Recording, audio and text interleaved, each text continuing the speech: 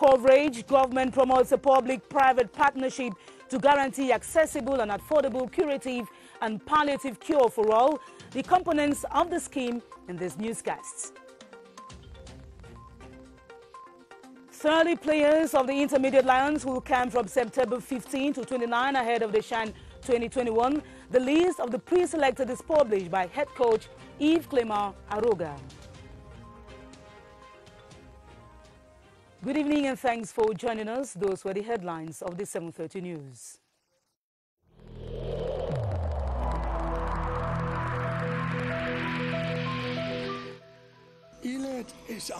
Each of us must comply with the measures that have been taken.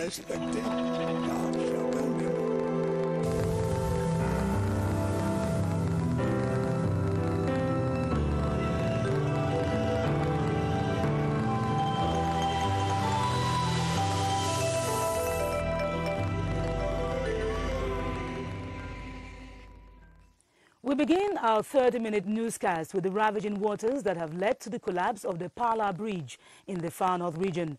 The bridge, which links Maroua to Kousseri and the Chadian capital, N'Djamena, gave way after last night's torrential rains. The town of Maroua is flooded and power supply interrupted. Henry Tato Ekambi reports that Governor Midjiyawa Bakari has been on the field to evaluate the damage and to propose solutions popularly known in Maroua as Pongpala, collapsed at around 8 a.m. Monday morning after torrential rains on Sunday night. Though no one died in the unfortunate incident, circulation along the National Road number 1 from Marua will be perturbed. I was just filming the huge run of water under the bridge and I heard the pillars of the bridge cracking. There were two bikes crossing but they succeeded to cross before it collapsed. The heavy downpour also left the far north capital in flood waters with key electricity lines also falling to the ground. Some other bridges are very old and uh, we do think that uh, something is necessary to do. And as far as uh, Pala is concerned, we, are, we will inform the high ranking to rehabilitate the small break to uh, enable uh, drug to go through uh, neighboring division or neighboring country.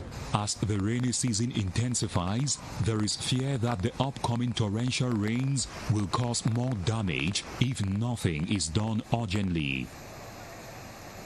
Power supply in Gida and in Maroua is interrupted due to the destruction of a pylon caused by heavy rains. The incident has led to a general blackout in Maroua and other parts of the far north region. Mokolo, Mura, Kaélé, Bogo, Maga, Yagoua and Kousseri have also been affected. So natural teams are currently on the field to assess the extent of the damage and to ensure that the region is provided electricity in the hours ahead. Registration on electoral roll throughout the national territory will officially close today, August 31, 2020 at midnight. Due to the COVID-19 pandemic, the registration has been timid, and in some three ELECAM Council branches visited in Yaoundé, there is no effervescence. Beatrice Ngum reports that registering on the electoral list gives voters a chance to choose their leaders. At the Yaoundé 2 ELECAM Council branch, the first potential voter walked in at exactly 9.33 a.m. Here we are told an average of one to six Cameroonians can stop by daily to register. It is that last day today, so I needed to come and register. In Yaoundé 7 at Oyomabang, the same atmosphere reigns. The staff is on seat, but potential voters are few and far between. Branch officials say the registration is timid because they've not been to the field for a door-to-door -door campaign because of COVID-19. In spite of the pandemic, we receive at least five electors a day. Globally, in our branch, we have about 50 registered already. Be it in Yaoundé 2, 7 or Yaoundé 1, statistics are not impressive. Only about 10 are registered daily. Many say it's a general trend for voters' registration to drop after an election year. The ministers of territorial administration and of external relations have jointly summoned the resident representative of Doctors Without Borders today. The exchange, which took place at the conference room of the Ministry of External Relations, was to recall to the authorities of the association the need to strictly respect neutrality in their field operations in Cameroon. Ministers Paul Atanga-Nji and Lejeune Mbella Mbella reminded Doctors Without Borders to work in compliance with the laws of the land and the respect of the engagements to Cameroon as a sovereign state. There is a change at the helm of Cameroon's diplomatic mission in Equatorial Guinea. Owono Jean-Claude Desiré Mingele is the new ambassador extraordinary and plenipotentiary to Equatorial Guinea appointed by presidential decree. He replaces His Excellency Lazampuel Mbala. Charles Ibune has the details. Cameroon and Equatorial Guinea just reset relations on their security front line, and here comes the new chief Cameroonian diplomat to Equatorial Guinea to cable the lines between Yaoundé and Malabo. My feeling is uh, a very good surprise, first of all, and also to glorify the Almighty God for having inspired His Excellency Paul Biya, head of SET, to choose my humble person. Extraordinary and plenipotentiary, Owono Jean-Claude Desiré is a seasoned diplomat who spent years at the Cameroon Embassy Mission in Moscow, Russia, and was United Nations Director at the Ministry of External Relations.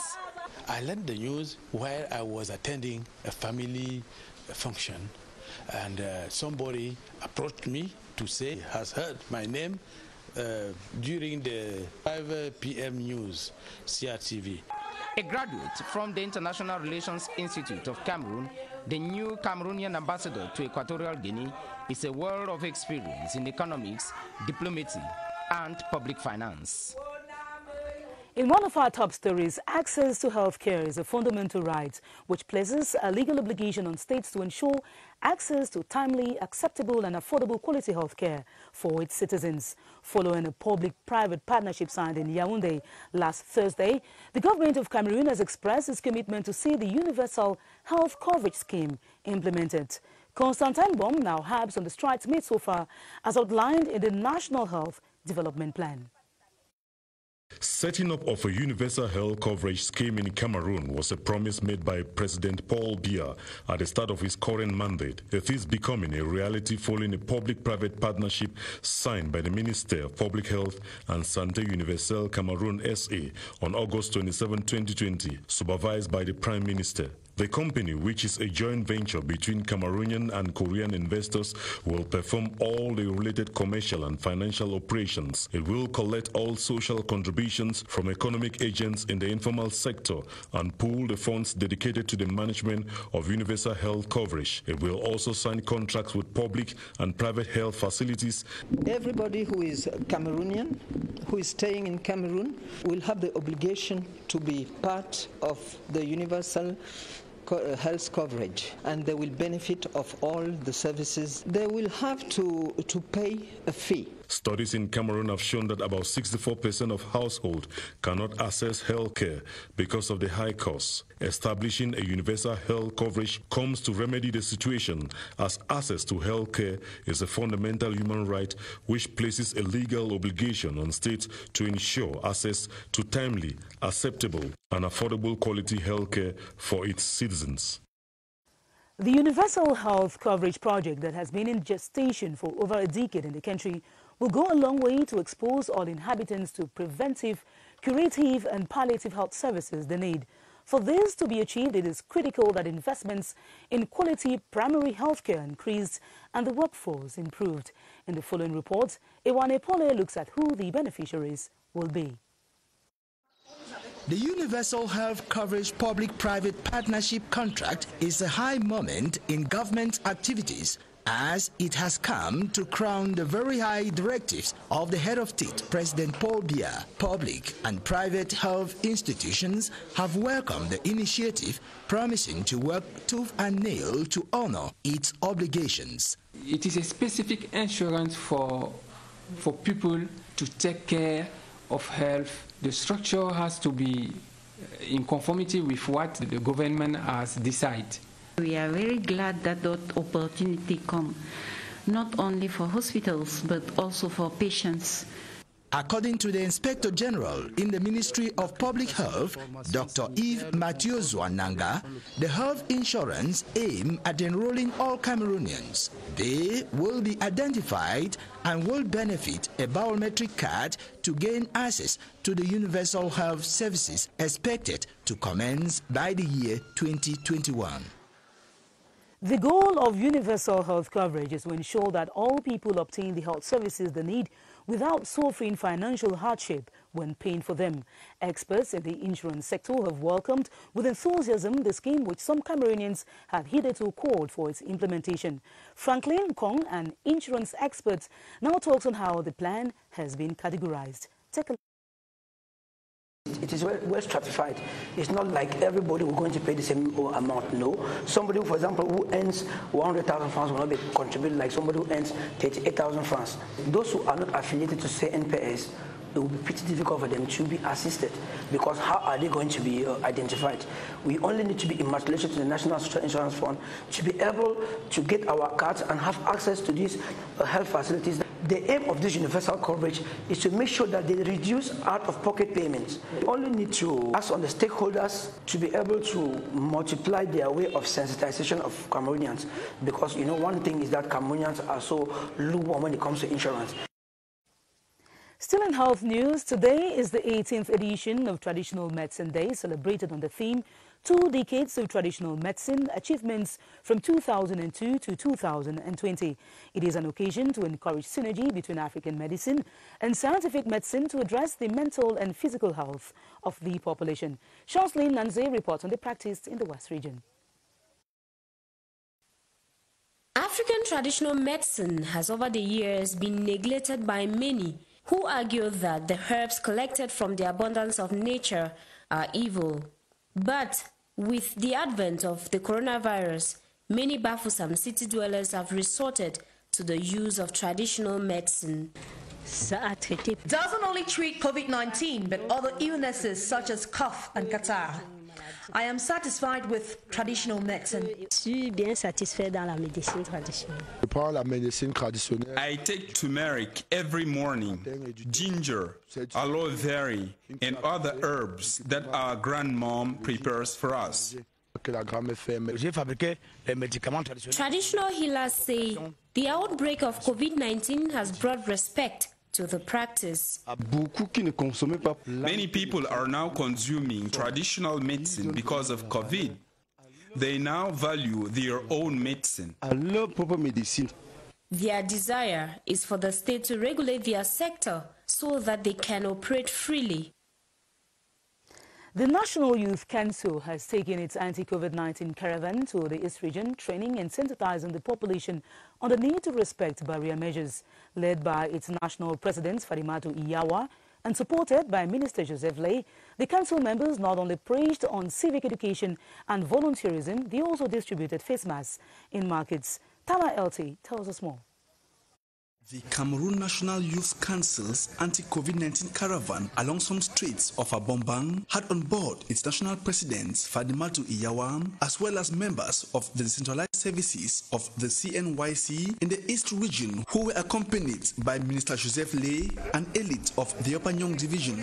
Since yesterday, we have uh, done some training of the young Cameroonian leaders for the Cameroon National Youth Council of the different subdivisions. The national coordinator of the JAPABI, Michel Aka, in his address to the youth on patriotism and peaceful coexistence, promised his support to the CNYC anti-COVID-19 campaign. We noticed in towns like Sangmelima, Mbalmayo, and Ebolowa that many people no longer put on face masks, but the authorities in place, as well as volunteers like us, have to keep on reminding the population on the importance of this practice. A significant consignment of anti-COVID gears like buckets, soaps, face masks and others were handed to youth in the presence of Minister Joseph Le, who was designated an anti-COVID-19 ambassador in the East region by the national president of the CNYC.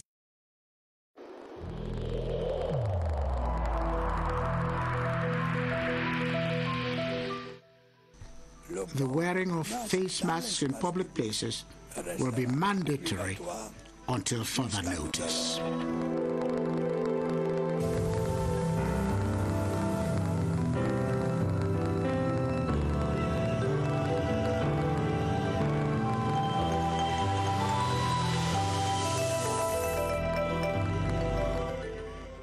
In religious news, the Catholic Men's Association has been charting a way forward to build the group spiritually and to impact lives. This was in the course of an annual meeting in Buea, chaired by the national president, Johnson Oke. It was closed by a mass celebrated by Bishop Michael Bibi, as we hear in this report by Charles Abuno from Buea. The CMA enlarged National ESCO annual meeting brought together all the diocesan presidents in Cameroon, their executives, as well as special invitees. It was a forum for them to assess the activities of the movement and brainstorm on how to make it more effective within the church. We are represented in 16 dioceses out of the 23 in the Republic of Cameroon with a membership of about 6,000. It was also an opportunity to deliberate on some very important projects of the CMA, one of which is the National Secretariat of the movement, which is under construction in Buea. They have an elaborate plan that is supposed to give us not only the national office, but a spiritual center and other social activities uh, that will not only help the CMA, but Buea, being a land of legendary hospitality, the meeting ended with a holy mass celebrated by Bishop Michael Bibi. Slightly earlier than 7.50, we take you to the Public Health Emergency Operations Center where there is an unimpressive use of face masks and disrespect of physical distancing nowadays in social gatherings like weddings and birthday parties. This public health experts hold is likely to increase the spread of the coronavirus that government is struggling to curb. Baldwin Sama is at the Public Health Emergency Operations Center and talks about how risky such attitudes can be with his guest, Dr. Frank Amabo. Hello, Baldwin.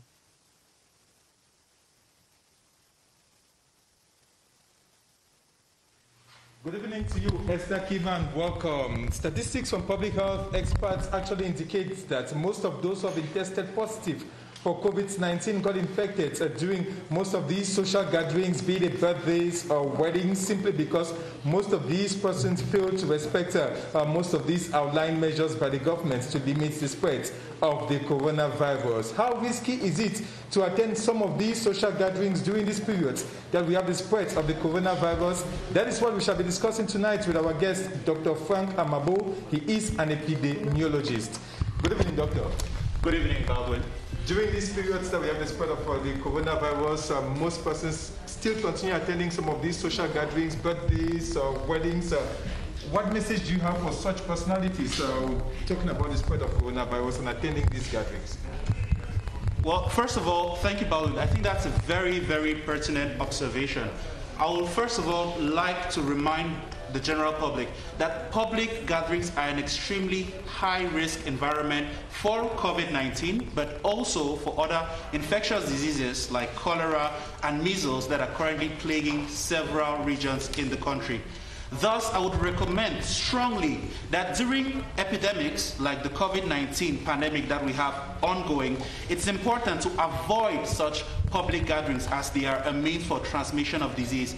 If it is indispensable to be in those gatherings, it is important that we respect the recommended precautions to avoid infection when being in those places. And one of the highlights for some of these ceremonies, weddings or birthdays, uh, we have noticed that the virus can easily be transmitted uh, through communication. We have a lot of singing during such, of, such ceremonies. You, and, uh, as an epidemiologist, uh, uh, what message do you have to send across to these persons who attend some of these gatherings? I think once again that's a very, very important point you're making. It's important to highlight that the COVID 19 is transmitted by a droplet infection. So, notably, when people speak, when people sing, when people sneeze or cough, droplets can leave and infect the person that is nearby. So it's important that we reiterate for our general public, and we're glad to have an audience such as this, that it's important to respect the standard precautions, notably to be able to wear a face mask as it will protect the person in front of you, to respect cough or respiratory etiquette, such as coughing in a handkerchief that you can throw away or in your elbow in the event you do not have one to make sure we respect hand hygiene. In public places, we greet a lot of people. If we do that, we would avoid a lot of infections. And finally, the physical distancing. It is important that we socially interact, but that we keep that physical distance for this disease. And I would like to add that in the advent of any disease, it's important to call your toll-free number, which is 1510, or to meet the nearest health facility. Thank you so much, uh, Dr. Frank Amabo. You are an epidemiologist for being a guest this evening, and equally during the uh, traditional press briefing, uh, public health experts use the opportunity to remind Cameroonians that in as much as it's it is important to attend uh, most of these gatherings, but you should choose either between your health and attending these uh, social gatherings, because if you should attend one, it should be very, very important. And when you attend these, you should not fail to uh, respect all these barrier measures so as to avoid any possible uh, spread of the coronavirus. Back to you, Esther Kima. Thanks very much, Baldwin. It is true that life continues. There is need to celebrate, but as we celebrate, we should remain vigilant and cautious while we make merry. In our discovery tonight, we walk you through to the production of the locally made attire called Atoghu. The fabric and exquisite designs have transcended boundaries, considered not just as a Bamenda dress, but a made-in-Cameroon brand. What does the fabric and the distinct stitches signify? Karin Tosam has been finding out. The attire was worn exceptionally in traditional ceremonies in the past. Now, it is fast becoming the trending outfit. Embroidery of the traditional attires of the Northwest is not haphazardly done. You have the single heart design and you have the double heart design. You also have the gong design. The gong in the northwest rallies the population on occasion. The gong informs people of the arrival of a fon. The atoghu is no longer just a traditional outfit here. Now it's togo that we say is worn during traditional well, uh, traditional occasion, the cultural occasion, or any other responsible occasion. The regalia is worn alongside other accessories. This is a cap it's used by the form or kingmakers. When you dress, you put on this beads. This one is for men. We have variety of the beads. And then this one also is beads used by women on the various female dresses. Many people are taking interest in the production of the Atoghu outfit because the dress is in high demand both in Cameroon and abroad and is currently a source of employment for lots of people in the region. Now onto sports. A list of 30 players of Cameroon's Intermediate Lions pre-selected and called to camp has been made public by the head coach Yves Clement Aroga. This is ahead of the 2021 African Nations Championship to take place in Cameroon. Although the majority selected have been in previous trainings, defender Alphonse Marie Tiencher will be absent. Baldwin Summer reports that the camp will go from September 15 to 29. The 30 players called to come by coach Yves Clement Aroga are selected from different Elite One teams in Cameroon and will each have to prove their worth. Three goalkeepers are selected, among them Simon Omosola of Bamboutos Mbouda, Epane Litizi of Stade Grena of Melon, and Dande Jr. of APEJES Mfou. Eight defenders are called to camp with the conspicuous presence of Thomas Etabawak of Coton Sport of Garoua and Serge Andulu of Union Sportif of Douala. The midfield compartment will be handled by 13 players, among them Maestros Mark Nkongo Ojong, Reninzi, and Ulrich Lobe, all of Bamboutos Mbouda. Meanwhile, the attacking machinery will count on six attackers with Samuel Len, Leon Boyomo, and Bape Muller to take the lead. Conspicuously absent from the list are Thierry Akono and Alphonse Marie who featured in the previous list. The Intermediate Lions of Cameroon are due to begin camping on Tuesday, September 15 to September 29, after which a new list of players for the next camp will be published. And that brings us to the end of the 7.30 news. But before we go, a recap of our major stories. The Pala Bridge in the Far North region has given way and Maroua is cut off from Kousseri after torrential rains. Governor Midjiyawa Bakari has been on the field to assess the damage as the town of Maroua is without electricity following the destruction of pylons. Universal health coverage for all, government is promoting a public-private partnership to guarantee accessible and affordable curative and palliative cure for all the components of the scheme and who the beneficiaries will be were on this newscast. And finally, in sports, 30 players of the Intermediate Lions will camp from September 15 to 29 ahead of the CHAN 2021 in Cameroon. The list of the pre-selected players was published today by head coach Yves Clément Aroga. More news will be coming up at 8.30 p.m. with Romeo say I'll be back tomorrow at 7.30 p.m. Thanks for watching and stay tuned to our programs on CRTV. Good night.